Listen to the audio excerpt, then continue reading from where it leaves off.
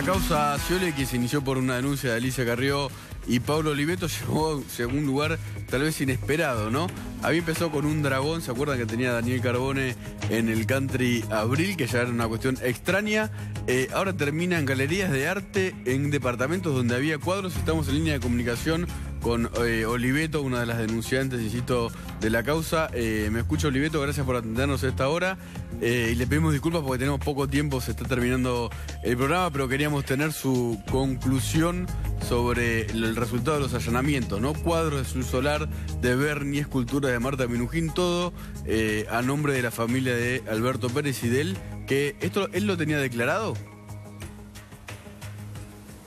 Entendemos que no, sus últimas declaraciones así nos lo indican y la verdad es que esto cierra un círculo, ¿no?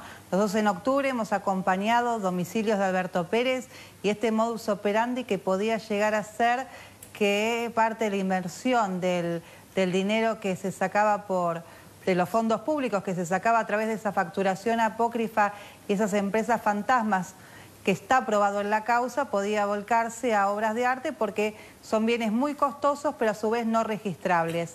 Así que entendíamos que lo teníamos que informar. La doctora Carrió hizo una presentación en octubre.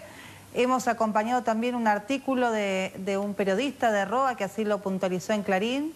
Hemos acompañado también otra, otra documentación que de alguna manera permitió llegar al día de hoy con los allanamientos y quiero saber dónde están los quinquela, porque han encontrado de todo menos los quinquela y los quinquelas están en algún lugar porque, porque así lo sabemos fehacientemente. Eh, se sabía, o según la información incluso creo que está en el expediente, que Alberto Pérez compró eh, cuadros de Quinquela Martín, uno de los artistas más importantes de la Argentina. En los allanamientos había 20 espacios vacíos en las paredes de los eh, muebles allanados, donde había cuadros que ya no están. ¿Usted cree que ahí ¿Estaban colgados los Quinquela Martín? Sí, la verdad que sí, y, tenemos que, seguir investigando y seguir avanzando en esto porque ahí está la plata de los bonaerenses, ahí está lo que falta en rutas, lo que falta en hospitales, lo que falta en escuelas, y es un compromiso y tenemos que seguir. No, no es menor que un funcionario que actualmente declara perdón, ser empleado de la, de la Cámara de Diputados de la provincia de Buenos Aires tenga tantos bienes y, nadie, nadie le pregunte. La última pregunta y le pido... está muy eh, bien que la justicia avance. La última pregunta y le pido que sea breve y le, pedimos disculpas de vuelta porque se nos termina el programa. ¿Estos allanamientos rozan también a Daniel Scioli o solamente a Alberto Pérez? Solamente a Alberto Pérez en estas instancias.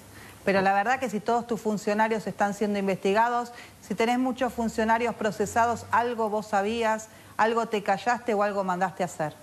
Quedó claro. Muchas gracias, Oliveto, una de las denunciantes junto a Alicia Carrió de la causa Scioli que ha terminado en eh, cuadros, en allanamientos de una especie de un museo secreto de la familia.